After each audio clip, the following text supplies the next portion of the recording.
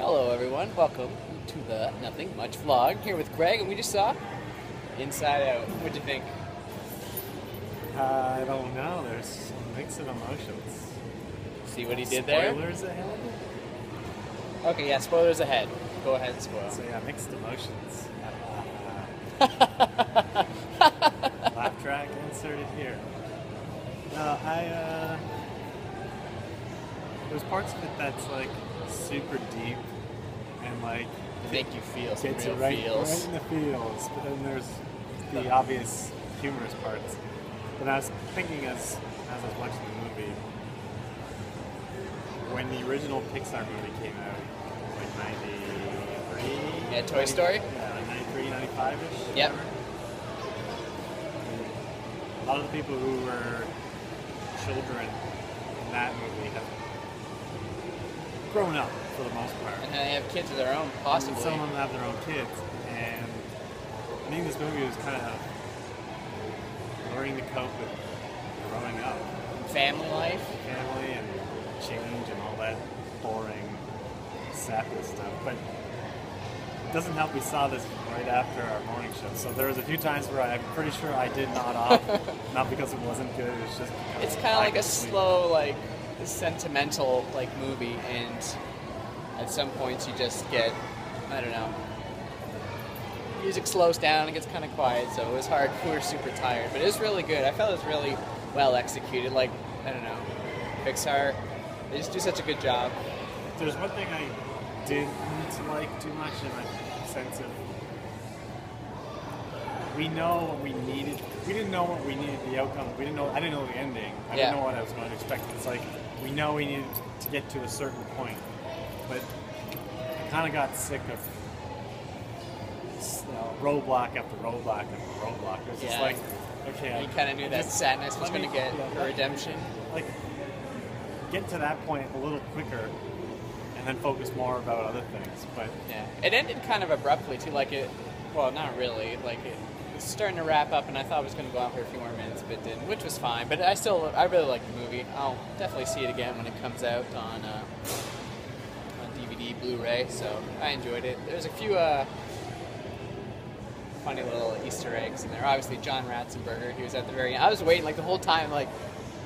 Which which character is he going to be? Apparently, Frank Oz was in the movie too. I, I don't s- remember, I saw it just in the credits but i don't know character I didn't said know some either. security guard but there was only a couple of them So, and it was funny uh, during there's the one scene was it the the nightmare scene where the they go up to the haunted house and they they're playing the music that's in the haunted mansion Oh, in Disney World. i, so I heard it. didn't catch that And I was like, well done, well done. the, the theme of the like this like the song that was in throughout the movie it sounded very familiar Yeah. It's gonna bug me because it almost sounds like they reused another song, or it was a song that they just made instrumental or something.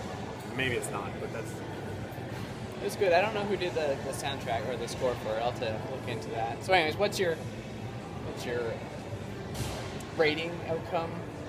Uh, mark your score?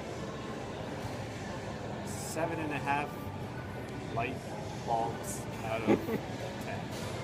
All right, yeah, I'd, probably put it about there too. Like it was good. I don't think it's my favorite Pixar movie, but it was not bad. It's No, it's in the middle there, maybe a little bit higher than the middle, but I, I would give it another chance, even you know, if I was a little more awake.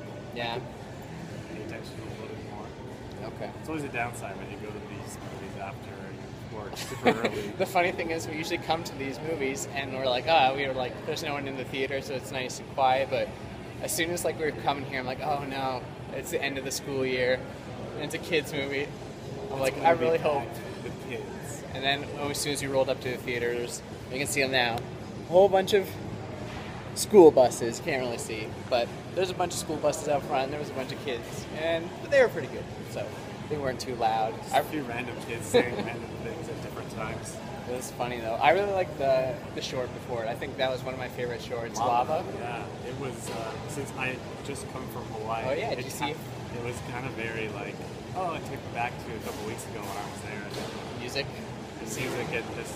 It was a nice little story. It was longer. It was for a while. It, was, it took a really dark turn, and I'm like, No. I, I sure hope this thing turns around. I hope soon. it works out.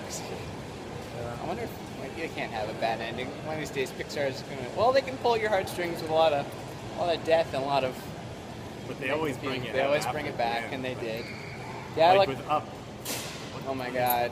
His wife dies like ten minutes in the movie, and, Self- it's like the movie then goes on from this super horrible death of this lovely couple, but then he becomes friends with the little kid. But same with this movie. This, this the girl, the girl in the movie just was so like, having a breakdown. yeah, it's like, when is this gonna be happy and turn out for the best? But it worked out. It ended up, it ended up being good in the end. Without too many major spoilers. Yeah. Well, well, we said there was gonna be spoiled. Anyways, I would check it out again for sure. Possibly in theaters. Maybe I'll just wait till it comes out. But it was good. I liked it.